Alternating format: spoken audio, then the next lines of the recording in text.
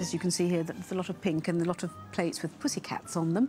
And those pussycats speak and purr and things like that. And they're little spies as well for her.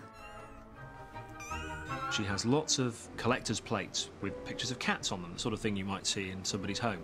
But of course, this being the magical world of Harry Potter, there are moving pictures of cats. And the cats convey part of Umbridge's personality. We started with a bit of blue or green paint. Then we shot film of cats on a separate stage, doing various different things.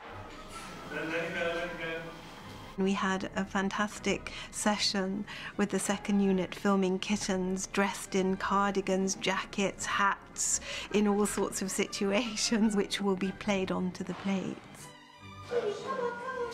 So we would receive these big charts showing which cat went exactly where, and they, they all have different personalities and they all do different kinds of things.